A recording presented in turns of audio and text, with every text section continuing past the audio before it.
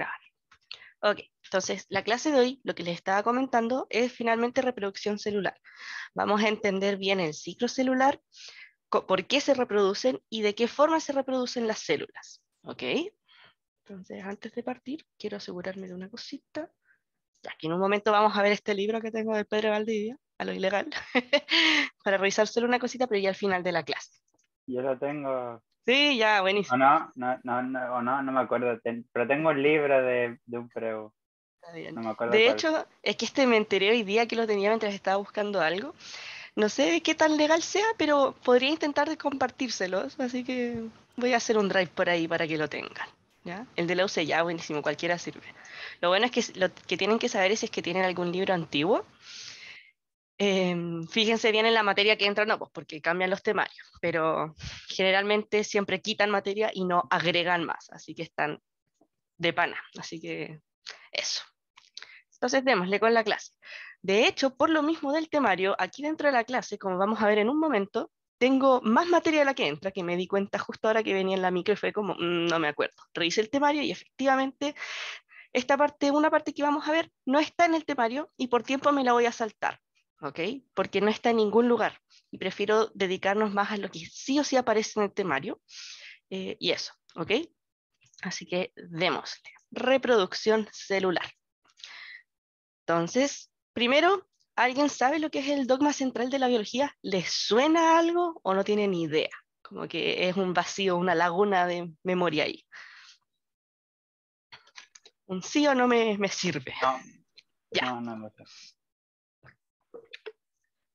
Ya, no, fantástico. Yo se los muestro entonces. Entonces, el dogma central de la biología corresponde al, al traspaso que va a tener el material genético entre ADN, ARN, que se recuerdan son biomoléculas, ¿sí? ambos ácidos nucleicos, para formar proteínas. ¿sí? Es como el traspaso de información genética en los distintos mecanismos cualquier cosa que yo tenga que tiene ADN va a pasar por alguno de, estas, em, de estos pasos. ¿sí? Hay un dogma central actualizado, modificado, en donde hay más pasos, pero este es el principal. El que tiene más pasos es como ya más hardcore y lo van a ver en la universidad. ¿sí? Tienen como dos pasos más. No es tan difícil, pero para efectos de la prueba tienen que conocer este. ¿Por qué de la nada aparece una proteína desde lo que es ADN a ARN? Bueno, si se recuerdan, cuando vimos biomoléculas, dijimos que la proteína es un polímero de aminoácidos, un polipéptido. ¿sí? Pero los aminoácidos y la cadena de aminoácidos que yo hago necesita tener una receta, es decir, digamos que esto es hacer eh, un collar de aminoácidos para una proteína. Pero yo no puedo decir, ah, pongo esta perlita, esta perlita, esta y esta hacia la azar. Necesito una receta que me diga eso. ¿Y dónde está la receta? En el ADN. El ADN tiene la codificación y la información, por, eso se llama información genética, para decirnos todo y cómo se debe hacer. ¿sí? Entonces, todas las proteínas, que finalmente es lo que compone la gran mayoría del metabolismo y de las estructuras, viene a raíz del ADN. El problema en los humanos, ¿qué es lo que pasa? El ADN no puede salir al citoplasma en donde están los ribosomas que hacen las proteínas, donde está la maquinaria. ¿sí? Y la misma maquinaria no puede entrar al núcleo. Entonces es como, oh, ¿Cómo llevo la información del núcleo afuera del núcleo al ribosoma? Mediante un mensajero. ¿Y se acuerdan que habíamos visto que el ARN toma forma de un ARN mensajero? Es eso. Entonces, veamos brevemente cada uno. La materia que yo decía que no entra como tal es entender el proceso de replicación, transcripción y traducción por separado, que antes sí entraba. Así que me voy a adelantar un poco así como qué es la replicación y así, este estilo con las enzimas y todo eso. Entonces me lo voy a saltar, pero es importante que entiendan que existen estos y como qué se saca de cada uno, no el proceso como tal, ¿ok? Entonces me salto primero esto. Entonces, tenemos el primero que es la replicación del ADN, que es finalmente lo que nos vamos a centrar en la clase de hoy, eh, no la replicación como tal, sino el proceso general de la replicación, como finalmente es la replicación de las células gracias a la duplicación del ADN. Entonces el ADN se va a ir degradando, no, no es que sea degradando, se va a tener que ir dividiendo porque las células se van a duplicar y duplicar y duplicar, y yo necesito hacer más ADN para, por ejemplo, si yo célula me voy a dividir en dos, no es que el ADN se va a dividir en dos así tal cual, no, yo el ADN lo voy a duplicar, y ahí se va a dividir. ¿Sí? Entonces necesito en algún momento estar constantemente rehaciendo ADN. Y es como copiar un copy-paste de ADN. Y esa es la replicación. Luego, ¿qué es lo que pasa si yo quiero hacer una proteína? Ahí cambia un poco la cosa y vamos a salir del núcleo. Del ADN voy a copiar la información en este mensajero, pero como el ADN no puede salir, lo voy a hacer en ARN, que sí tiene la capacidad de salir. Entonces yo le digo al ARN mensajero, oye, mira, esta es la receta, se la escribo, le escribo la lista de supermercado de las cosas que necesitamos, se la paso al ARN, la ARN sale del núcleo por los poros del núcleo, llega al citoplasma y se lo pasa al ribosoma. Y el ribosoma, ¿qué es quien que hace? Es el encargado de la traducción. El ribosoma le llegó la lista de supermercado, le llegó la receta y ¿qué hace? Va a decir, ah, necesito esto y esto, lo uno. Este otro, lo uno. Este otro, lo uno. Y voy uniendo cosas para hacer una cadena. ¿Cadena de qué? De aminoácidos.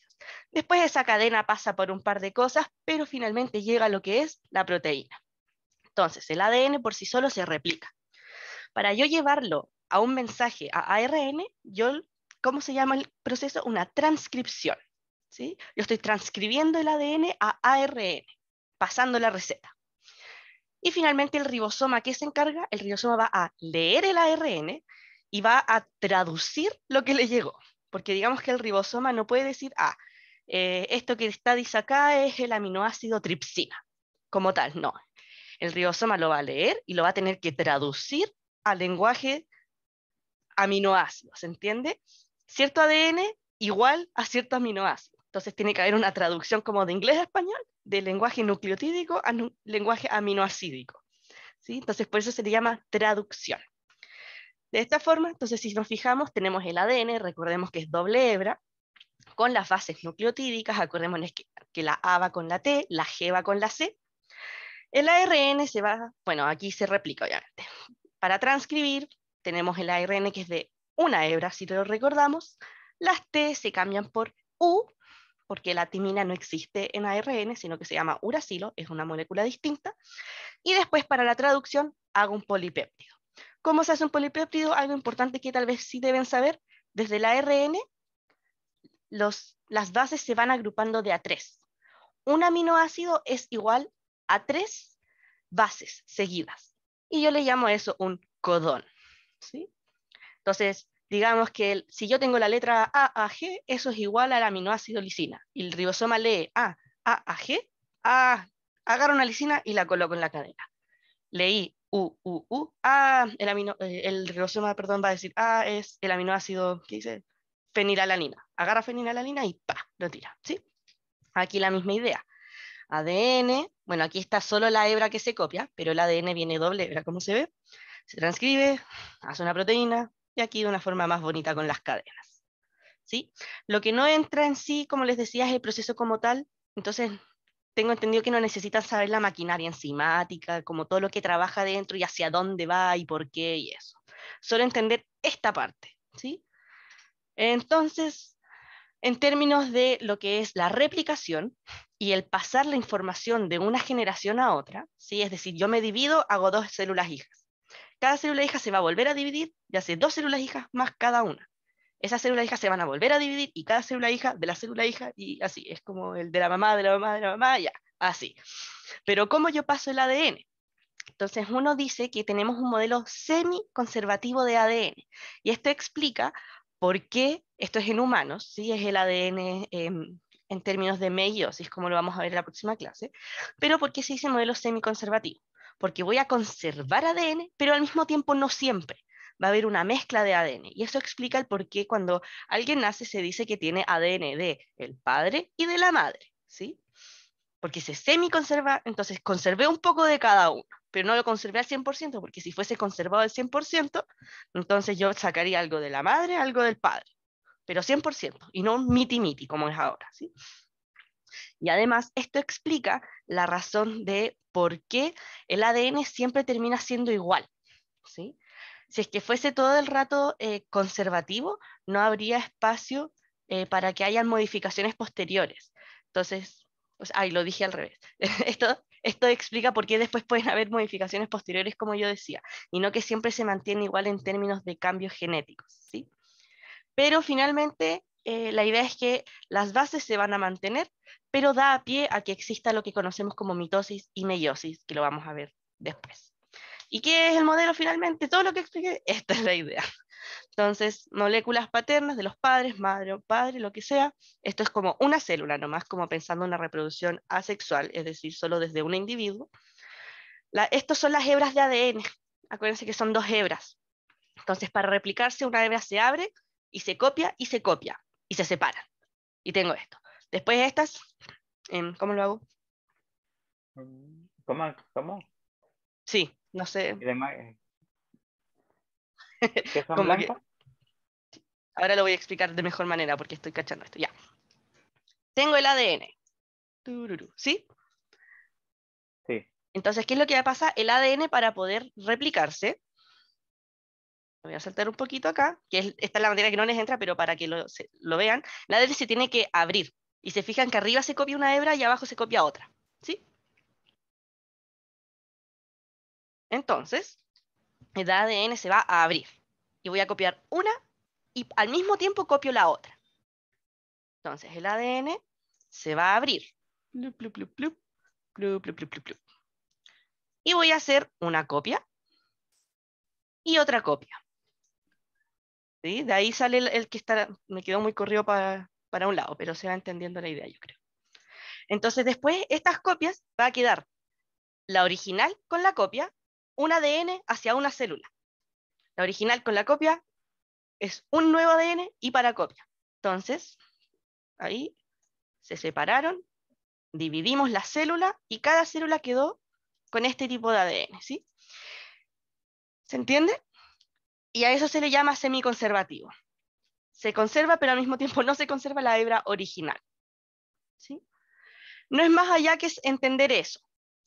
Tiene como todo un fundamento genético que lamentablemente para efectos de la prueba no lo deben saber porque es bastante extenso, pero esa es la idea, de que las hebras originales, originales, 100% originales, em, son infinitas y básicamente a día de hoy nosotros solo tenemos células no originales porque son de como el ancestro común de millones, millones de años atrás. ¿sí? Pero siempre hay un poco de conservación. ¿Qué es lo que va pasando? Al momento de tener las copias, las copias pueden tener mutaciones genéticas. Entonces, ¿qué es lo que va a pasar? Como a medida que pasa el tiempo, siempre voy a ir, a ir obteniendo copias tras copias, tras copias, tras copias, así es como ocurre finalmente la variabilidad genética. ¿sí? Por eso es semi-conservativa, no se conserva 100%. Ahí se entiende mejor lo que explica al inicio, que permite como cambios, como que se conserva, pero no tanto. ¿Se entendió la idea general?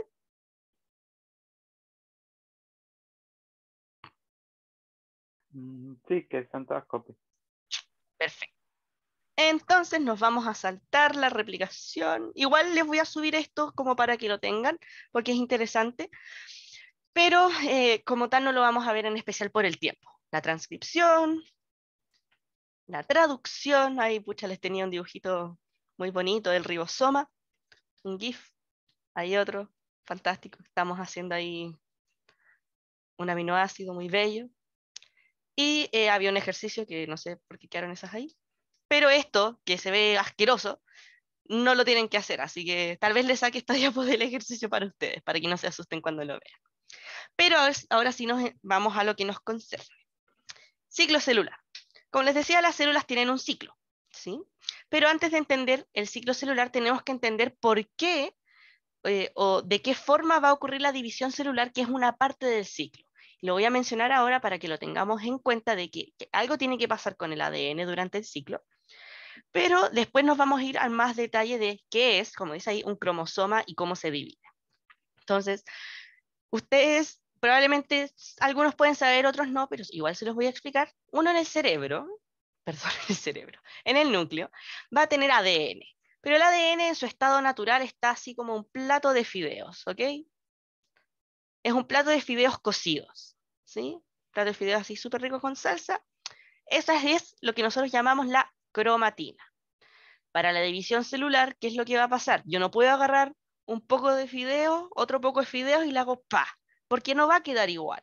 ¿sí? No sé qué estoy tirando para un lado, para el otro lado, además lo tenía que duplicar, yo no entiendo nada. Entonces el núcleo que hizo dijo como, no, esto es inaceptable, yo me voy a hacer rígido con estructuras especiales para yo poder hacer una separación perfecta, así fantástica, ¿sí?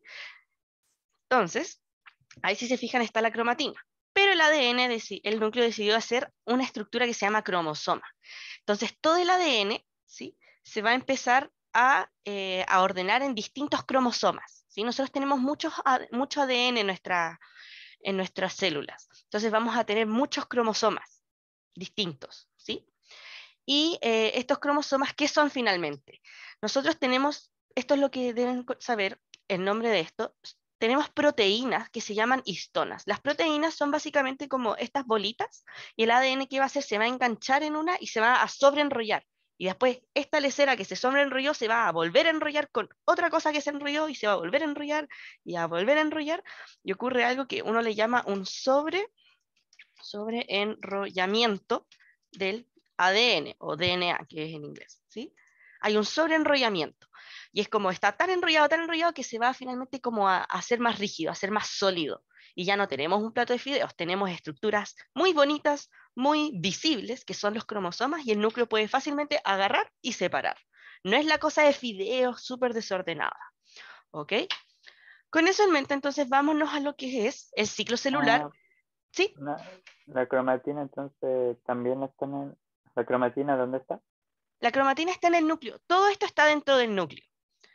La cromatina versus cromosoma es nada más la organización que tiene el ADN dentro del núcleo. En el estado ya. como normal está como el plato de fideos de cromatina. Al momento de dividirse, como lo vamos a ver, va a estar en forma de cromosoma porque lo necesitamos bien ordenadito. Entendí, gracias. Perfecto. Ciclo celular. Entonces, el ciclo celular tiene varias etapas y debemos conocer las etapas, su orden y qué pasa en cada una.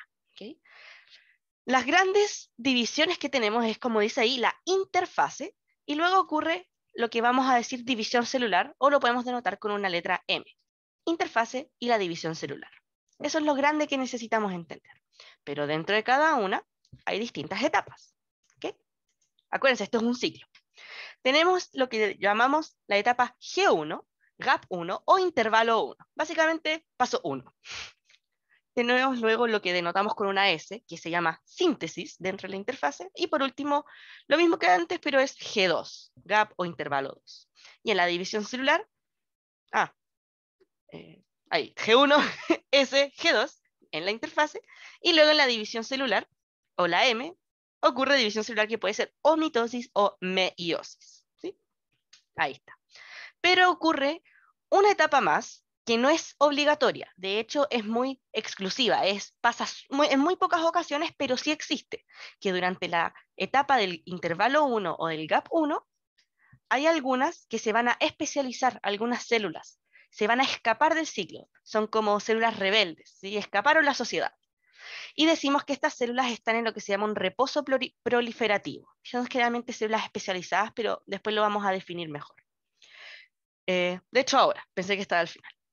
Esto lo hice en la mañana y ya ni me acuerdo en qué orden lo dejé. Pero vamos, vamos.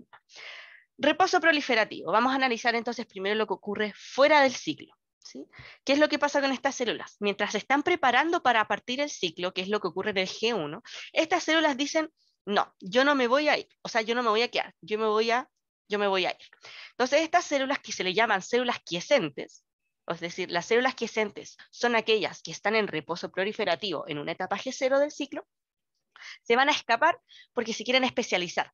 No quieren gastar sus recursos en hacer un ciclo celular. Estas dicen, no, yo no necesito duplicarme, yo soy tan bacán que no necesito hacer muchas veces de mi célula, conmigo basta. Se creen súper geniales así, nunca vamos a morir, somos células inmortales. No necesito hacer más, no necesito tener hijos, no necesito descendencia, conmigo basta. ¿Sí? Entonces, ¿qué necesitan? Como no necesitan duplicarse, no se van a duplicar, van a escapar del ciclo. Y por ejemplo son las neuronas. Esto no es tan cierto, han, habido últimamente, especialmente en, los últimos años, eh, mucha evidencia de que las neuronas sí se duplican, pero a medida que pasan los años su nivel de duplicación baja. Pero para efectos de ejemplificación, no sé si es que han escuchado típico que dice que uno si se pega fuerte en la cabeza, uno pierde neuronas y por eso se va haciendo más tonto. ¿ya? Es como lo típico que les dicen a los papás, hoy no hagas eso, que te vaya a pegar en la cabeza. Ya. Entonces eso tiene en teoría un poco de razón, no sé exactamente qué es lo que pasa cuando uno se pega en la cabeza con las neuronas, pero sí pasa que uno al perder neuronas, literalmente las va perdiendo y va teniendo menos. Y obviamente si es que hay menos neuronas, uno pierde capacidad eh, neuronal.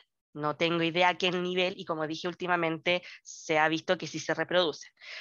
Pero la, generalidad es que las neuronas en sí tienden a no querer estar dentro del ciclo. Las neuronas son células muy, muy, muy especializadas, eh, a tal nivel que no necesitan duplicarse, por ende son células que vamos a tener fuera del ciclo. ¿Ok? Así que no sé, no sé qué tan cierto sea, pero tratan de no pegarse en la cabeza, por si acaso, yo digo. Ahora nos vamos a meter al ciclo como tal. ¿sí?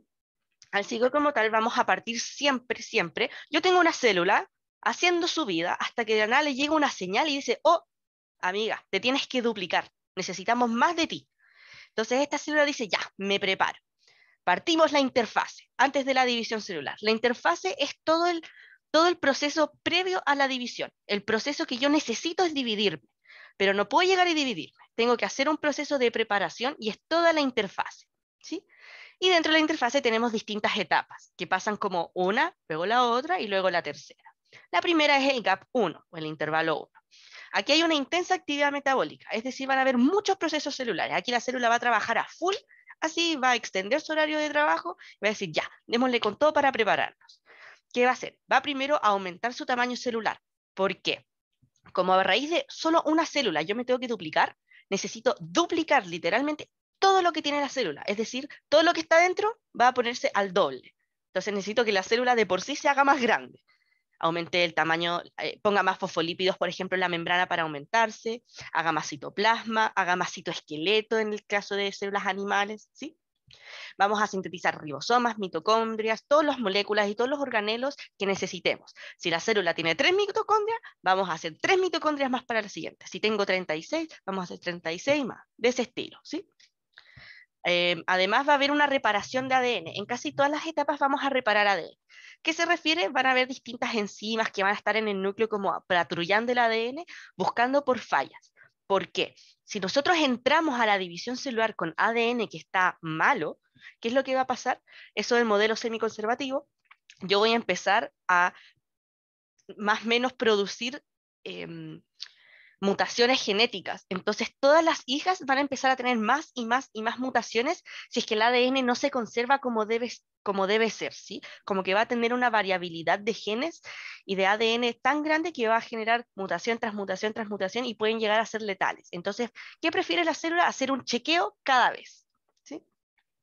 Una vez que nos preparamos... ¿Sería como el cáncer? ¿Mm?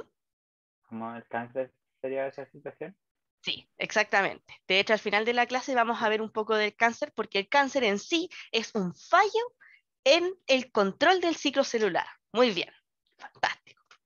Siguiendo, la célula ya partió esto, esto como que ya le hizo el clic de como, oh, ya, me estoy preparando. ¿Y qué va a hacer? Vamos a empezar a hacer una síntesis específicamente de ADN. ¿Y a qué le llamamos la síntesis de ADN? Específicamente es la replicación o duplicación del ADN. El ADN que yo tengo, pa, lo voy a duplicar y tengo dos copias. ¿sí? Si antes yo dupliqué como organelos y todo eso, en la síntesis, después de todo eso, voy a hacer la síntesis del ADN como tal. ¿sí? Importante, no es la división, es solo la replicación del ADN. Entonces, si se acuerdan, teníamos una estructura que son los centriolos, en el citoesqueleto, en especial en los animales. Los vegetales no tienen centriolos, pero tienen un estilo distinto de centriolos que por alguna razón uno no los estudia, yo no me sé el nombre, pero es como una homologación. Así, pero aquí lo vamos a hablar de centriolos, ¿sí? Tienen que saber que los vegetales es como algo muy parecido, ¿sí? Pero es la misma funcionalidad. Tenemos algo que actúa como centriol. Entonces, los centriolos son súper importantes en lo que va a ser la división. Los centriolos van a originar lo que vamos a llamar el uso mitótico, con H, como si fuese hueso, del hueso del esqueleto, pero es sí la E, es uso, es un nombre muy extraño. Los centriolos van a hacer este uso y el uso que son son como manitos, son como eh, fibras que van a agarrar los cromosomas y los van a dividir, los van a mover hacia donde ellos quieran. Por ende, yo necesito estos centros en donde van a nacer estas cosas. ¿Y dónde los voy a sintetizar? En la interfase, en la parte de la síntesis. Estoy, de nuevo, preparándome para todas las cosas que yo necesito para la división celular. ¿Sí? Una vez que ya eh, estoy avanzada en la duplicación de los centriolos y yo ya terminé mi ADN, la síntesis de ADN, vamos a ir a la última fase, la preparación de la interfase, la G2. De nuevo vamos a volver a reparar el ADN dañado de las dos cosas de lo que yo dupliqué, ¿sí? Vamos a empezar a sintetizar proteínas, ¿sí? Para condensar el ADN. Entonces, hasta el momento nosotros aquí estábamos en la cromatina. ADN súper como plato de fideos. Aquí en la síntesis también, pero aquí yo ya me estoy duplicando. Al duplicarse yo no necesito necesariamente que esté ordenado, ¿sí? Porque si se, si se lo recuerdan esa breve imagen que puse, el ADN nada más necesita, si lo estoy doble, abrirse y duplicarme, hacer las copias. Entonces no necesito estar ordenado, no estoy tirando para allá, para acá, en el lugar mismo la enzima se pone y sigue la línea, aunque esté enredado, sigue la línea. Entonces yo sigo acá. ¿Qué pasa? En la G2 eh, vamos a empezar eh, a, condensarnos. Entonces voy a hacer síntesis de proteínas. ¿Alguien se acuerda el nombre de la proteína que yo dije que condensaba el ADN? ¿Alguien por ahí se acordará? ¿Cromosoma? No, el cromosoma es el ADN condensado, pero está bien, si lo vimos recién. Las proteínas que nosotros vamos a, a utilizar para condensar el ADN y obtener cromosomas se llaman histonas. Ahí lo estoy anotando. Histonas, ¿sí? Entonces las histonas van a empezar a ser sintetizadas acá y vamos a empezar a condensar. Inicia lentamente el enrollamiento del ADN hasta la heterocromatina. Yo les dije cromatina versus cromosoma, pero el nombre como científico del cromosoma es heterocromatina, ¿sí? Pero finalmente, ¿qué estamos haciendo? Cromosomas, ¿ok? Y va a finalizar la duplicación que yo inicié antes de los centriolos y, e inicia el ensamblaje del uso mitótico, como yo les dije. El uso, entonces, después hay unas fotos igual, pero los centriolos que son como cosas de este estilo, son como tubitos que están unidos uno a otro y tengo uno hacia acá y otro hacia el otro lado. Em, entonces, aquí, ¿qué van a hacer? Van a empezar como a unirse y van a empezar a como a reclutar el uso mitótico. Y finalmente estas son fibras que salen de los centriolos, ¿sí? Ahí tengo unos y yo los dupliqué, entonces al otro lado voy a tener lo mismo. Y al este lado también estoy, como dice, ensamblando el uso mitótico, ensamblando estas desgracias del uso mitótico. Y entonces tengo fibras. Y estas que van a hacer son deditos que literalmente van a agarrar cromosomas y los van a romper o los van a llevar hacia donde yo quiero. ¿sí? Esto con la interfase. ¿ok? Y después nos vamos a lo que es la división celular, que como yo les dije puede ser la mitosis o la meiosis. Ahí hay un pequeño, un pequeño videíto de, cómo ocurre cada una, obviamente ahora tal vez no lo entendemos mucho, pero es para ver las diferencias. Si se fijan en la mitosis tenemos dos hijas, en la meiosis vamos a tener cuatro. Y si se fijan en la mitosis son bastante iguales, mientras que la meiosis son todas completamente distintas entre sí y a la madre. Esas son las principales diferencias que obviamente vamos a ir viendo, pero ahora en qué nos vamos a centrar en la mitosis, en la primera, que es como la más simplecita, ¿ok? Entonces, mitosis. Ahora vamos a volver a ver el cromosoma, pero vamos a entender su estructura. Entonces, un cromosoma puede ser tanto un palito como dos palitos unidos. ¿sí? ¿Qué es lo importante? Un cromosoma solo va a tener, o sea, un cromosoma corresponde a eh, un, algo que tiene un centrómero. ¿Qué es un centrómero? Este puntito que vemos adentro. ¿sí? Es la parte media, o no necesariamente media, pero es la parte que va a separar los bracitos. A veces podemos tener un cromosoma que es algo como muy, muy deforme y algo como de ese estilo, ¿sí? con un bracito muy chiquito o bracitos iguales. ¿sí? Pero lo importante es que el cromosoma, independiente si es que es doble o simple, un cromosoma implica un palito, perdón, un circulito, un centrómero. ¿sí? Si yo tengo esto, tengo dos cromosomas. Yo tengo esto. Ay, qué feo. Y otro más, ahí. Ahí yo tengo tres cromosomas, ¿sí? Distintos. Eh, en las puntitas de los cromosomas tenemos una sección que se llama telómeros. Eh, para efectos de la prueba, de nuevo, no es tan necesario entender qué son o qué hacen, pero es importante saber que existen, ¿sí? Entonces, ahí, de nuevo, un cromosoma, un cromosoma. Em, ahora, el palito completo condensado, como yo le voy a decir, una cromátida o cromatide. ¿sí? cualquiera está bien. Cuando yo tengo un cromosoma en, en su forma doble, ¿sí? con dos palitos o dos cromátides, le vamos a decir que son cromátidas hermanas dentro de un mismo em, cromosoma. Y hablando del el centrómero, el mismo centrómero va a tener adentro un espacio para cada lado que se llama cinetocoro. ¿Y por qué es importante el cinetocoro? El cinetocoro, imaginémoslo como donde yo voy a tener eh, unos ganchitos, ¿sí? Unos ganchitos. ¿Por qué necesito ganchitos o los cinetocoros? Porque los microtúbulos del uso o el uso mitótico, que yo dije que son estas manitos, que son esas rayitas que vemos ahí en la pantalla, van a engancharse en esto y lo van a mover, ¿sí? Entonces los, microtúbulos se van a enganchar al cinetocoro para poder moverlos. No lo agarra ni de la cromátide de ningún lado, lo agarra de los cinetocoros, justo del el centrómero, ¿sí? Entonces otra foto, como yo decía, estas son cromátides, cada palito. Cuando estamos en doble, es una, son cromátides hermanas y ahí están los centrómeros. Cuando tenemos ahora, ¿qué es lo que va a pasar? Los cromosomas generalmente, cuando trabajemos con ellos, van a estar en doble, porque cada cromosoma va a corresponder a ADN y nosotros vamos a duplicar el ADN. Entonces el cromosoma lo vamos a trabajar en formas de apares la mayoría de las veces. ¿A qué se refiere esto? Cuando son dos cromátides, o dos, perdón, cuando son dos cromosomas idénticos, ¿sí? porque hay distintos cromosomas, cuando son idénticos, es decir, cuando estoy de apares, Em, vamos a decir que son cromosomas homólogos, ¿sí? Entonces, yo tengo un cromosoma cualquiera con otro cualquiera y no son homólogos, significa que son completamente distintos entre sí. En cambio, si es que son homólogos, significa que son copias uno del otro. Son literalmente como homólogos. Son lo mismo, pero dos veces. Pero son dos cromosomas distintos, pero con la misma información. ¿Sí? Sé que puede sonar muy abstracto esto, pero vamos a ir entendiéndolo. ¿Sí? ¿Un clon? ¿Eso? ¿Cómo? Sería un clon, Sí, un clon. Disculpa, es que no te escuchaba bien. Pero sí, es como un clon, exactamente. Exactamente. Ya, entonces, eh, otra cosa importante, necesitamos entender que es un cariotipo. Entonces, nosotros, humanos, y en verdad cualquier eh, ser vivo, uno puede hacer el cariotipo, que es básicamente agarrar todos los cromosomas que nosotros que tenemos, tenemos en total 46 cromosomas en nuestro cuerpo en un estado eh, normal, por así decirlo, ¿sí? Que se como yo les decía, van a estar en pares, ¿sí? Están en pares.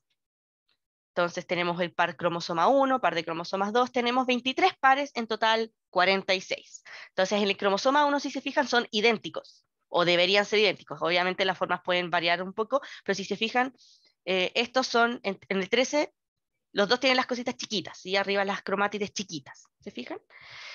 Eh, y bueno, si se fijan, el último par, que es lo que pasa en los humanos, eh, es distinto, porque el último par, que nos vamos a llamar los cromosomas gametos o las células gameto, ¿sí? los que tienen ese ADN, son aquellas células em, sexuales, ¿sí? que van a diferenciar em, eh, el sexo de las personas. Entonces, aquí es donde viene el juego eso, lo del XY, que hace el sexo em, masculino, y el XX, que hace el femenino. ¿sí? y ahí hay un poquito, algunas que se mueven. Aquí, por ejemplo, no están en duplicado, ¿se entiende? Aquí no están eh, como, como doble, como el par cromosómico, sino que están únicamente eh, los, los 46 solitos, ¿sí? Aquí están los 46 en duplicado. Ay, no, mentira, si, están en par, como se están moviendo lo vi mal, perdón. Perdón, si están en par, me equivoqué yo. Eso, ¿se entiende? tengo una duda. Dale nomás. Supone que todos los que salen ahí son todos los tipos que puede una persona o son todos los que tiene una persona? Son todos los que tiene una persona. Una persona, em, podríamos decir normal, porque hay muchas mm, mutaciones. Por ejemplo, las personas con síndrome de Down, si no me equivoco, tienen un cromosoma extra en el par 21, si no me equivoco, entonces tienen tres en vez de dos. Entonces, hablando de una persona normal, como con un, eh, con un cariotipo estándar, eh, estos son todos los que tiene al mismo tiempo. ¿sí? ¿Qué es lo que va a pasar? Todo este ADN está metido en cada célula. Pero si nos recordamos, em, o no sé si le puse mucho énfasis en la clase de tejidos, ¿vi tejidos con ustedes? ¿O lo vi con mención? Bueno, no importa. A lo que me refiero es que todo el ADN va a estar en cada célula. La diferencia es que cada célula va a querer decir qué, ADN está activo y qué ADN está inactivo. Entonces, digamos, las células del brazo tienen cierto ADN activo para hacer las cosas. Y el otro, por ejemplo, el ADN que tiene la información acerca de la uña del pie, no le importa la célula del brazo, por ejemplo. Entonces la va a tener inactiva, pero sigue de todas formas teniendo esa información, solo que la tiene apagada. ¿Se entiende? Un poco la idea de por qué todos tenemos esto al mismo tiempo. Sí. Perfecto. Entonces, siguiendo con algunos conceptos, algo muy, muy importante es lo que se llama la ploidía y la cantidad de ADN. Estos nombres suenan súper extraños, en especial si nunca han visto mitosis en lo que es colegio, preuniversitario, lo que sea. Pero voy a partir con unos ejemplos y vamos a entender bien cómo, al ver cromosomas, cómo sacar la ploidía y la cantidad de ADN. ¿ok? Entonces, cuando hablamos de ploidía, hablamos de las veces que está duplicado el ADN. ¿Ya? Quedémonos con esa idea. Entonces, por ejemplo, este es diploide, ¿sí? Entonces tenemos mucho ADN, pero aquí lo tenemos ordenado en un cariotipo, si se fijan, ¿sí? Eh, esto obviamente no son de humano, porque el humano vimos que es bastante complejo, estos son ejemplos nada más. Entonces, si yo los ordeno, el aquí está diploide, tengo el ADN dos veces. ¿Sí? Yo les dije, si el cromosoma tiene al cromosoma homólogo, que tal vez eso me faltó explicar acá, cada par es un par homólogo, ¿sí? Son iguales. Entonces aquí cada par homólogo eh, es cuántas veces tengo, eh, cuántos tengo en ese, en ese set homólogo. Aquí tengo dos, dos cromosomas. Si es que estuviesen simples, también son diploides, solo que ahí en los, son simples y aquí son dobles, pero son de todas formas dos cromosomas. En este, por ejemplo, y esto ya es algo, generalmente pasa en plantas los que son más de diploide, em, tienen tres, por ejemplo. Aquí ya no es un par homólogo, es un trío homólogo. Aquí un cuarteto homólogo, pero está todo organizado en uno. ¿sí? Es el mismo cromosoma cuatro veces al mismo tiempo. Y el estado natural en el que está el, organismo se dice, ah, este organismo es diploide, ah, este organismo es em, eh, haploide, si no me equivoco, se dice cuando es, con uno nomás. Nosotros, seres humanos, si se fijan en estado natural, estamos de esta forma somos un organismo diploide, estamos constantemente con doble. ¿Por qué se dice con doble? Eh, es porque como estamos constantemente duplicando ADN para hacer eh, las duplicaciones celulares, eh, se dice que en la forma natural es que ya estamos con doble duplicación de ADN, ¿sí? esa es la razón. Ahí si se fijan, haploide lo tenemos una vez multiplicado, diploide dos veces. Y cantidad de ADN, se refiere ahora, la cantidad de ADN, a la cantidad que va a haber por cada set homólogo, ¿sí? Entonces, me voy a sentar un poco esto y vamos a ir a las definiciones como tal y a entender cómo se calcula. La ploidía se calcula con el número n, como pudieron haber visto aquí arriba, ¿sí? Y abajo, como ven la c, eso corresponde a la cantidad de ADN, ¿sí? C. Entonces, cuando uno habla de ploidía, haploide, diploide, triploide, es n. El n es haploide. Eh, Uy, no puse los nombres. Bueno, pero N es, ah, ahí está, haploide, 2N, diploide, 3N, triploide y así, así, así. ¿Ok? Entonces, es el número de conjuntos completos de cromosomas. En los humanos vamos a tener las células somáticas diploides y las células sexuales haploides. Entonces, los humanos somos diploides, a excepción de los gametos, que los que yo les decía son estos. ¿Por qué excepción si se fijan aquí? Tengo dos cromosomas distintos que forman finalmente el par de cromosomas sexuales, ¿sí? pero no son homólogos. Si se fijan, en este caso sí son homólogos, pero se dice de todas formas que no porque no ocurre para la especie por completo. Toda la gente que tiene el sexo masculino tienen distintos. Entonces se dice que estos pares no son homólogos. Entonces, tenemos 22 pares de células diploides, 2N, y tenemos dos cromosomas que son cada, cada uno es haploide. ¿Sí? Como para ir entendiendo qué es lo que estamos haciendo. ¿Sí? Ahí está, las células sexuales son haploides. En total, entonces, sin contar haploide, diploide, vamos a tener 46 cromosomas. ¿Sí? Y son 23 pares de cromosomas homólogos. Ahí, uy, muy mala mía, son 22. Lo que dije recién, son 22 porque son 22 homólogos Y el último par no es homólogo, ¿sí? En especial para el caso masculino. Así que es más, es más, es más. Para no decirles lo voy a cambiar y después nunca cambiarlo, lo vamos a cambiar ahí. Son dos pares de cromosomas homólogos más el par no homólogo. uy, es el par no homólogo sexual. Entonces esto es el XX y el XY. ¿Ok? Perfecto. Hagamos como que eso no pasó. Siguiendo con la cantidad de ADN, el C es la cantidad que yo voy a tener de cromátides o de ADN. Digamos que un ADN, cuantifiquémoslo de una forma muy simple. Un ADN es una cromátide. Entonces es cuántas ADNs tengo por par o por set homólogo. Acuérdense que puede ser un par, un trío, un cuarteto, dependiendo de la ploidía. Pero ¿cuántos voy a tener? Entonces, el C para una célula haploide corresponde a un cromosoma simple, en la célula humana son los gametos, ya. Esta explicación en verdad es súper compleja si es que no estamos entendiendo cómo calcularlo, así que me voy a saltar al tiro a calcularlos y después ustedes pueden entender esta parte. ¿Cómo yo los voy a tener? Esto es un tip. La ploidía tenemos que contar cuántos centrómeros hay por cada set, ¿sí? Y vamos a ignorar los brazos, las cromátides, lo vamos a ignorar. Lo vamos a fijar solo en los, en los centrómeros, en los puntitos. Y para calcular la cantidad de ADN, va a ser cuántas cromátides hay en total. Y da lo mismo si es que están juntas, separadas, me da lo mismo. Entonces, aquí vamos a hacer un ejercicio para entender la ploidía y la cantidad de ADN. ¿A alguien se le ocurre, por ejemplo, la ploidía de cada uno? Estos son por separado, ¿sí? Ese es un set homólogo, digámosle, este es otro set homólogo, este es otro, y tengo cuatro sets homólogos distintos. ¿Se les ocurre cuáles serán las ploidías de cada uno?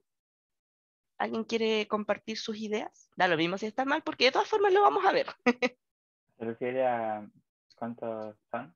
¿Cómo era? Este es lo del N. Sí, ese es. Las primeras dos serían 1N, ¿no? sí. las dos que vienen 2N, ¿no? Perfecto. 10 de 10. Si estuviésemos presenciales, es un premio. ¿eh? Genial. Eh, exactamente. La ploidía es la cantidad de puntitos. Aquí tengo un puntito, un puntito, dos puntitos, dos puntitos. Entonces tengo un cromosoma que tiene un ADN simple no está duplicado. Aquí tengo eh, un cromosoma con el ADN duplicado, pero ese cromosoma no está duplicado, está simple. Entonces están cada uno, independiente de la cantidad de cromátides que tienen, los tengo una vez. En cambio, los otros están dobles. Cada set tiene, eh, tiene dos. Entonces, este es como el set homólogo, pero obviamente eh, no tiene cómo compararse. Entonces, es como de por sí un set. Tengo el otro homólogo, ¿sí? Si es que aquí tuviese ya 3, por ejemplo, ya se parecería a ser un triploide con 3N, ¿sí? Entonces ahora vamos con la cantidad de ADN. Y como yo les dije, aquí nos tenemos que fijar por cada uno en la cantidad de manitos, o sea, de bracitos que tengo. Entonces aquí eh, tengo C. Ah, y creo que así lo dije, son las cantidades, eh, es con C acá. Y lo mismo, si es que tengo 2, 3, 4, es 2, 3, 4, C. Siempre con la C, ¿ok? Una pregunta en el chat. Eh, sí, estoy grabando la clase, para quien me preguntó. Em, ¿O no? Sí, sí, estoy grabando. Ya. Entonces, la cantidad de N son los bracitos. Aquí tengo un bracito, 1C, dos bracitos, 2C, cuatro bracitos, 4C, y ahí tengo dos bracitos, 2C. Entonces, ahí tenemos cómo calcular la, la, la ploidía y la cantidad de ADN. ¿Ok? Entonces, ahora vamos a seguir con la mitosis. Nos van quedando 20 minutitos, vamos relativamente bien. La mitosis, obviamente, vamos a ver sus principales características. ¿sí? Ahí si se fijan, estamos en esta parte del ciclo, ya nos preparamos, duplicamos nuestro ADN. ¿Qué hicimos más? Aumentamos el tamaño, tenemos todos los organelos duplicados eh, y además dupliqué los centriolos. ¿sí? Entonces, la mitosis va a ocurrir en las células somáticas. Creo que aquí no hice la diferencia.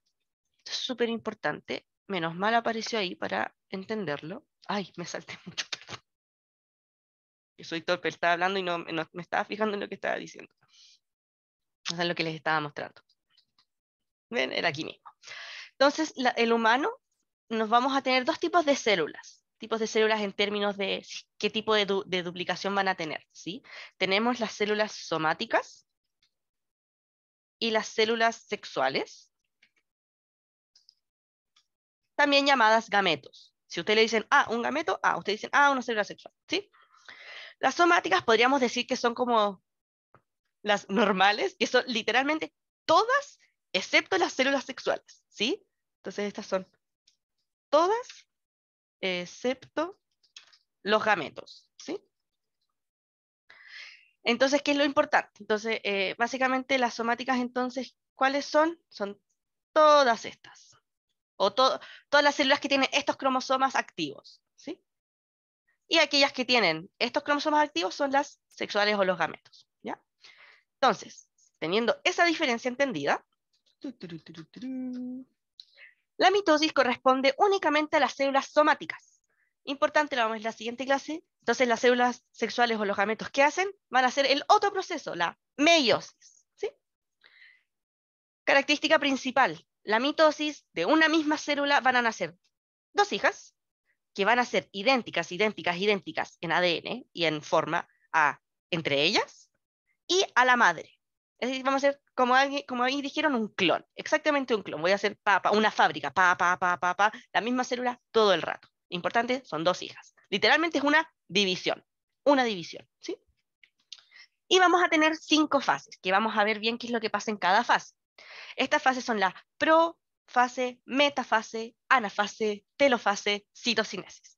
Esto es muy típico que lo pregunten, necesitamos entender bien qué pasa en cada una y cómo poder identificarlo visualmente también. ¿ya? Y se tienen que saber el orden. Yo es un método súper estúpido, pero yo siempre me acuerdo de la frase em, pro, meta, ana, eh, telo. Prometanatelo. No sé por qué, pero siempre me acuerdo en mi mente de prometanatelo. Entonces después... Y la última es citocinesis. no sé qué tan eficiente sea. Si alguien tiene otro método, sigan con eso. ¿ya? Déjenme cerrar mi puerta un poco. Ahí. Oh, mi gatita sigue durmiendo. Nos está acompañando. Entonces, ¿y cómo pasa? Ahí, esto es como, no sé si se entiende bien, es como, ese es lo que está pasando acá, ¿sí? Vamos por la profase, metafase, anafase, telofase, citocinesis. Tengo dos células y después, ¿qué pasa? Cada célula por separado va a volver a entrar al ciclo G1, S, G2, mitosis. Se divide las células hijas de las hijas, ciclo y bla, bla, bla. Por eso es un ciclo, ¿sí? Entonces vamos a cada paso. Uno, la profase. La profase la vamos a dividir en dos etapas, ¿sí? la temprana y la tardía, pero finalmente en la profase va a pasar solo una cosa, que es como la preparación. Si antes teníamos la interfase, que era la preparación para la duplicación, eh, para la división, la profase es como la post-preparación para la división, ¿sí? es como la preparación dentro de la división. Entonces, ¿qué va a pasar en la profase? Vamos a terminar la condensación de los cromosomas, vamos a terminar de sobreenrollar el ADN para hacer estas estructuras cromosomales, ¿sí? ¿Hay una pregunta? No, no, no, no. Vamos a terminar de condensar el ADN, los centriolos ya van a estar totalmente duplicados y ahí, como dice, en vegetales, en vez de decirles centriolos, le vamos a decir el centro de organización de microtúbulos. ¿sí? Y la tardía, ¿qué va a pasar? En el núcleo, ¿sí? Hay por ejemplo, tengo una fotito, tenemos el núcleo en una célula y los centriolos. Obviamente, entre medio tenemos millones de organelos y todo eso, pero nos vamos a enfocar en estas partes, ¿sí? Los centriolos, si se fijan, están ahí, ahí tenemos el uso con las manitos que yo les dije, y están solamente duplicados. Y aquí está el, eh, ¿cómo se llama? el núcleo, y ahora tenemos, no, no es el fideo de la otra foto que les mostré, estamos en cromosomas, si se fijan. Entonces, en la tardía, ¿qué pasa? el nucleolo y la carioteca, básicamente el núcleo va a empezar a desaparecer para que los cromosomas queden finalmente como esparcidos en el citoplasma. ¿Sí? ¿Por qué? Porque yo no los puedo separar si es que están metidos dentro de una caja. Yo necesito romper la caja, que estén ahí expuestos y yo los voy a mover hacia donde yo quiera. El citoesqueleto va a empezar a desarmarse. Súper importante, en la profase, los centriolos van a migrar a los polos, uno a cada lado. ¿sí? No me sirve que estén juntos. Vamos a hacer uno a cada lado. Van a empezar a aparecer los cinetocoros, estos enganches que yo les dije en el centrómero de cada cromosoma, y los cromosomas se van a unir al uso mitótico, ¿sí? Y están en cualquier lado, eso sí. Entonces, todo eso es lo que pasa en la profase. Es como que el núcleo, el núcleo desaparece, aparecen los cinetocoros, los centriolos se van a los lados y se van a enganchar mediante el uso mitótico, estas fibras, estos brazos raros, se van a enganchar. Y estamos como ya, preparados. ¿sí? Metafase, vamos avanzando. Las fibras del uso, lo que tenemos que entender, cuando las fibras del uso es el uso mitótico finalmente. Son contráctiles, es decir, se van a poder como mover hacia donde yo quiero. Y como decíamos, están unidos. Entonces van a actuar como cuerdas ahora, donde los centriolos los van a mover a donde nosotros queramos. ¿sí? Entonces, en la metafase, ¿qué es lo que va a pasar? Vamos a agarrar los cromosomas, bueno, ya los tenemos eh, agarrados, y los vamos a alinear. ¿sí? Los vamos a alinear súper bonitos de esa forma. Eh, en la alineación del cromosoma y se le dice el ecuador. ¿sí? Como si esto fuese el planeta y tenemos un polo de cinetocoros acá. Ay. Perdón. Un, un polo aquí y un polo acá. ¿sí? Entonces el ecuador es la mitad. Se van a alinear así. ¿Se entiende? ¿Y qué es lo que va a pasar? Eh, vamos a generar algo que se llama la placa metafásica o la placa celular, que es básicamente esta plaquita de ADN en forma de cromosoma. ¿sí? La metafase entonces es alinear. ¿Sí? Importante, en la mitosis, ¿cómo se, aline, alinean? Alinean. se alinean em, cada cromosoma, ¿sí? Cromosoma, cromosoma, cromosoma, cromosoma, ¿sí? Importante, importante, importante, porque después que va a pasar, spoiler, en la meiosis se van a alinear por pares. ¿ya? No, aquí es cada cromosoma por separado. ¿sí? Importante cromosoma que, como yo les decía, en estado natural en los humanos, como ya va a estar constantemente duplicado, y aquí está duplicado, lo tenemos así, con dos, dos. ¿Sí? Si se fijan, aquí está como... Eh, está con las dos eh, cromátidas. ¿sí? Entonces, metafase, metafase nos alineamos. ¿Qué es lo que sigue? La anafase. esto es lo más entretenido. La anafase vamos a ahora separar las cromátides hermanas. ¿Qué eran cromátides hermanas? Un cromosoma con dos cromátides son hermanitas. ¿sí? Las vamos a separar, las vamos a sacar una de otra, las vamos a separar a las pobres hermanas, ¿sí? Y van a migrar a los polos que vamos a tener, ¿sí? Entonces, al tiro les explico esa segunda parte, pero ¿qué es lo que va a pasar entonces? Como yo les decía, los teníamos agarrados, pasa la metafase, los alineamos, y cada uno, como está alineado, ¿qué va a hacer?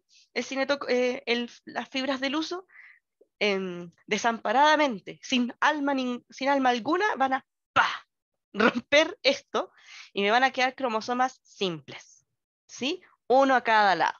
¿Ok? En este paso, ¿qué es lo que está pasando? Vamos a tener en, los humanos 92 cromosomas simples. ¿sí? Entonces, aquí, ¿qué es lo que pasaba? Tengo todos mis cromosomas alineados. ¿Y cuántos cromosomas teníamos en, nuestro cariotipo? 46. ¿sí? Aquí sí están los de X y el Y, eh, o XX para las mujeres, ¿sí? Sí están, solo que no van a estar activos, como decimos, pero sí los tenemos que dividir y duplicar y todo eso, ¿ya? Pero eso es un caso especial finalmente de cómo ocurre. Ay, perdón. Pero finalmente eso es lo que pasa. Aquí los cromosomas homólogos, si se fijan, como yo les decía, no están así, los tenemos así. ¿Por qué? Porque no me importan los homólogos, la mitosis no le importa eso. Yo quiero todos los cromosomas por separado en una línea. Eso quiere la mitosis. ¿Y qué va a hacer? ¡Pah! Los vamos a separar. Entonces, ya, perdón, por tanto mover. Aquí tenemos 46 cromosomas, todos alineaditos, gorditos, bonitos, ¿sí? Anafase, pa, los separé. Entonces, literalmente dividí la cantidad de cromosomas en dos. Entonces, en la anafase tengo 96 cromosomas simples. 46 para un lado, 46 para el otro lado, ¿sí? Telofase, finalmente, ¿qué es lo que va a suceder? La telofase es como la profase al revés los cromosomas ya están llegando, ¿qué es lo que va a pasar? Los sinotocoros van a empezar a desaparecer. Las fibras del uso van a empezar como a eliminarse, van a empezar a aparecer dos núcleos, uno a cada lado, va encerrando los 46 a un lado, 46 al otro lado, ¿sí? El ADN se va a empezar a descondensar, es decir, se va a empezar, como se ve ahí, a formar de nuevo este plato de fideos, ¿sí? Vamos a volver a organizar los nucleolos, los núcleos, y las fibras van a desaparecer completamente, ¿sí? Importante, súper importante. La telofase es solo volver a la normalidad para cada una. No es la división de la célula. ¿Sí? Todavía no nos dividimos completamente. Es solo esta parte de volver a la normalidad dentro de la célula. La quinta fase, que como dice abajo, es súper importante que tengan claro, no es siempre. De hecho, hay muchas células que quedan binucleadas, tienen dos núcleos, es decir, se quedan tal como vemos aquí. ¿sí? Es muy común.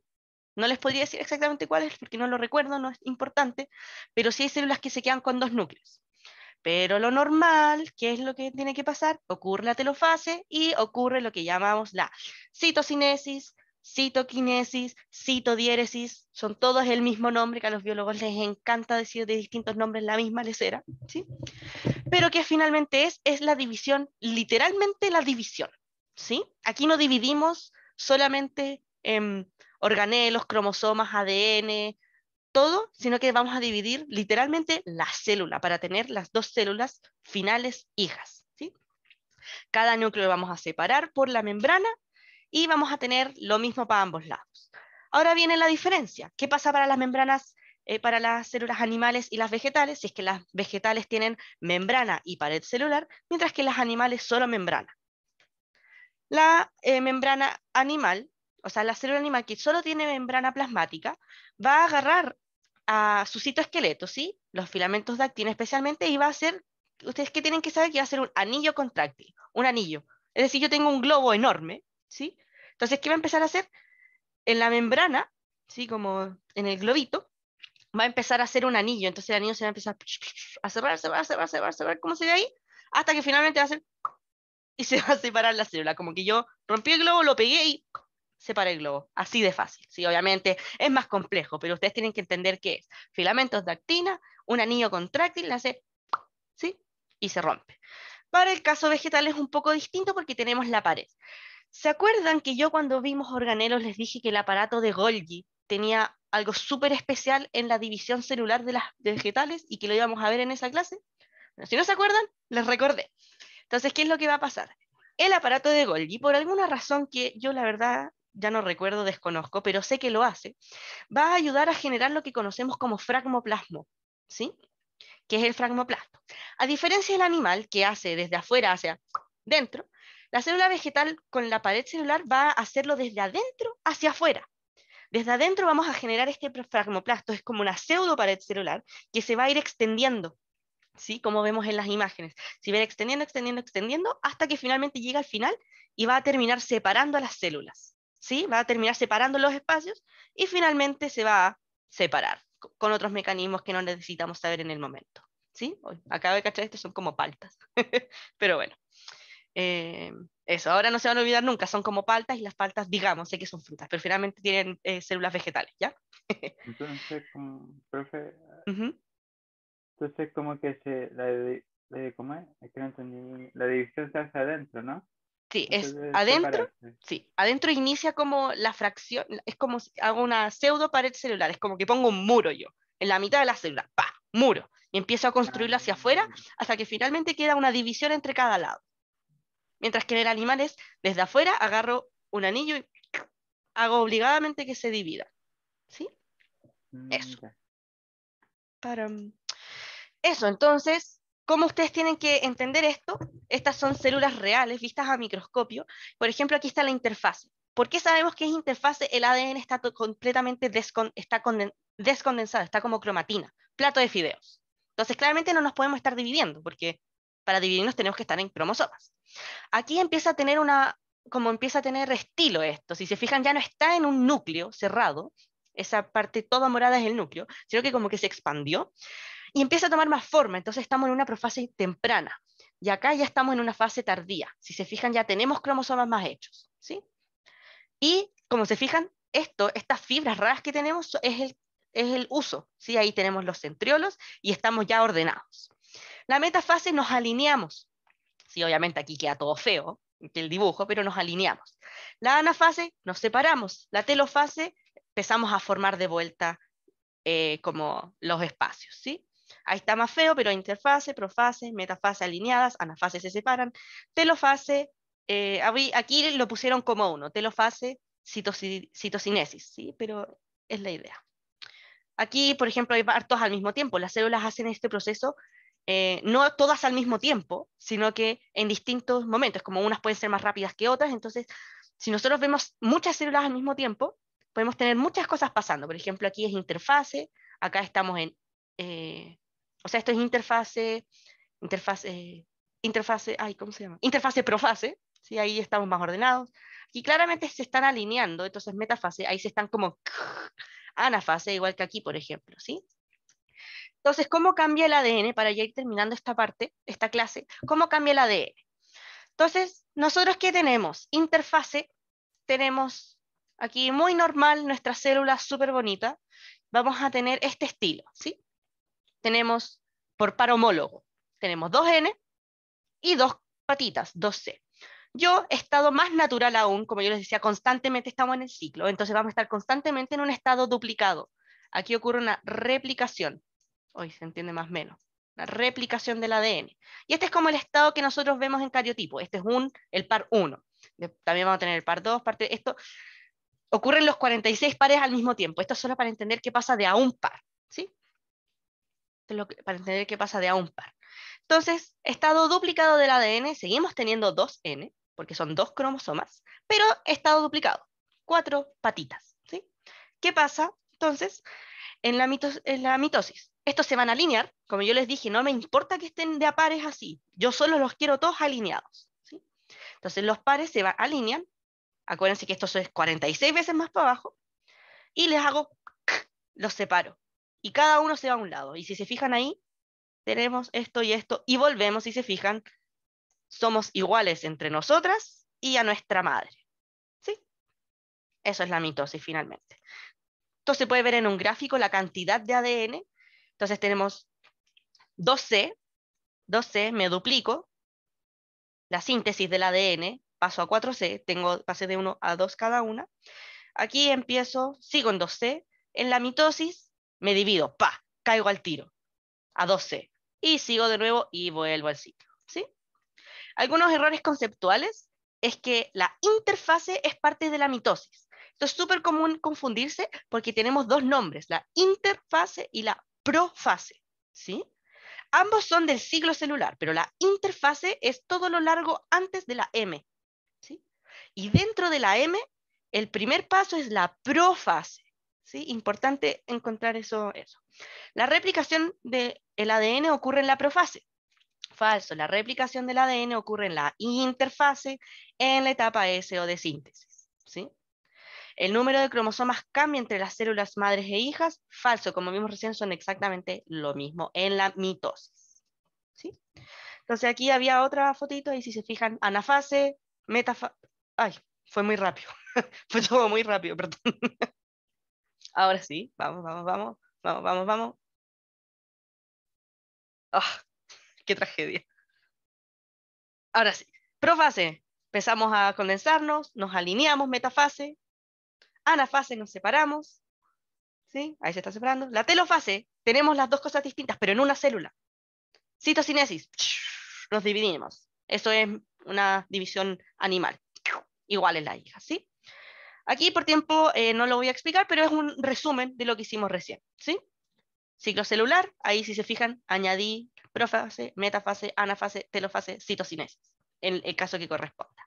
Estos son los puntos de control. Em, se los voy a explicar ahora en dos minutos. Disculpen que me voy a pasar dos minutos, pero siento que si lo explico en la siguiente clase vamos a perder el hilo.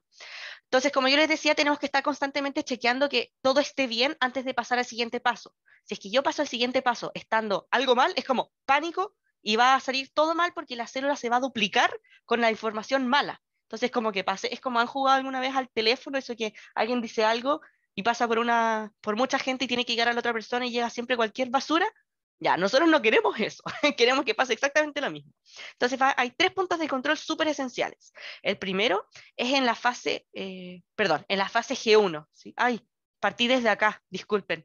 Bueno, como es un ciclo, en verdad es cualquiera. Voy a partir desde el de la G2, ¿sí? Es al final de la interfase, uno, de los que vamos a tener porque es importante saber que hice todo lo suficiente en la preparación antes de partir al proceso de división celular. ¿sí? Vamos a cerciorarnos de que tengamos un tamaño suficiente, que el ADN no esté dañado y todo eso. ¿sí? No, eh, no, aquí me equivoqué. O sea, eh, la información está bien, entre comillas, solo que claramente esto está ahí sí. Hoy, disculpen, perdón. Perdón, perdón. Eh, lo va a quedar ordenado para cuando se lo suba, lo voy a cambiar al tiro, pero vamos con la explicación en estos dos minutos antes que se vaya. Eh, si alguien se tiene que ir porque en verdad se quiere ir, ponga su nombre en el chat para ponerlo en la lista. Entonces, eh, uno de los puntos de control, me voy a ir hacia abajo, es al inicio de la interfase. Vamos en orden. Inicio de la interfase, nos vamos a preparar que esté todo bien. Entonces, ¿cómo yo voy a pasar desde la G1 a la síntesis? Es como, antes de sintetizar el ADN, es como, calmado. ¿Tenemos el tamaño suficiente? ¿Tenemos los nutrientes necesarios? ¿El ADN está dañado? ¿Estamos bien? Si es que le hacemos check, como si estamos bien tamaño, estamos todos duplicados, como adelante usted con la síntesis, el ADN está perfecto, vamos a la síntesis. Ocurre la síntesis, todo perfecto, como dice abajo, a veces hay un control de la síntesis, pero no está tan, tan como acertado, tan, tan aceptado. Entonces se va a asumir que no necesariamente. ¿Puede haber control? Sí, pero si les preguntan cuáles son los puntos de control, en verdad son estos tres pero es como para que usted entienda que en verdad hay como un control en todos lados, ¿sí? Pero bueno, ese es el más importante. El segundo más importante, me voy a ir aquí al tercero que está arriba, con el número 3, que es al final de la G2, justo antes de partir la división celular, ¿sí? Entonces, ¿qué vamos a decir ahí? ¿Estamos correctamente unidos? Como que el uso está... Eh, ¿Ven? Por e, esto es lo que pasa cuando yo no preparo la casa el día antes y lo hago el mismo día. En verdad, me disculpo mucho, me carga que me pase esto, no me gusta porque se pueden confundir. Ya. Volvemos al 2. Si se fijan, el orden 1, 2, 3 de la derecha está completamente bien. Yo en el dibujo lo, lo puse al revés y mil disculpas. Pero se entiende lo que es cada uno porque. Paso 1, tamaño, correcto, fantástico. ADN dañado, no, fantástico, nos sintetizamos, duplicamos el ADN. Segundo paso importante, al final del AG2, antes de la mitosis, en donde me quedé recién, vamos a decir, estamos de nuevo, tamaño estamos bien, Importante, importante, por eso caché que no era el otro. Nos preguntamos, ¿está bien replicado el ADN? Como, obviamente, si es que el ADN no lo sintetizamos, no lo duplicamos bien, no podemos ir a dividirnos, es como calmado, nos tenemos que, nos tenemos que arreglar antes de duplicarnos, porque ¿cómo me voy a duplicar y después arreglar? No se puede, ¿sí? Y ahora sí, con el orden correcto, la tercera es en la fase de la división celular, específicamente en la metafase. ¿Qué ocurre en la metafase? Nos alineamos como dice ahí, es la correcta unión de cromosomas al uso y además que estén alineados. Si es que yo no estoy bien enganchada con el uso, yo no voy a poder mover cromosomas, murió la división celular, va a salir algo mal. Si es que yo no estoy bien alineada, es decir, si es que en la mitosis ocurre esto que yo les decía que no nos gusta, que estén así, es decir, como que voy a empezar a duplicar, a, mover los ADN de una forma que no corresponde. ¿sí? Entonces necesitamos que estemos alineados y bien enganchados. Eso. De nuevo, disculpen, ahí quedó bien ordenadito los números, espero no haya sido tanta confusión, pero se entendía a dónde corresponde cada uno. El tamaño y que el ADN no esté dañado con los, y que hayan nutrientes es al inicio. Después el tamaño y ADN bien replicado, obviamente, después de la replicación. Y esto del uso mitótico y el ecuador, obviamente, iba en la parte de la mitosis. ¿sí? Ahí hay un resumen más extenso de los puntos de control. Y lamentablemente no alcanzamos a lo de cáncer, que esto sí por tiempo lo vamos a ver después. Lamento a quien preguntó, pero sí lo vamos a ver, se los prometo. Pero eso. Tienen que entender nada más que el cáncer es un problema que nace del ciclo celular. Si el ciclo celular falla, lo más probable es que nos dé cáncer, ¿sí? De esa maldita enfermedad. Así que con eso terminamos la clase. Gracias por esperar. Todavía no se vayan, voy a tomar una foto de la lista y son libres de irse. Listita, listita. Voy a dejar de grabar y ahora sí son libres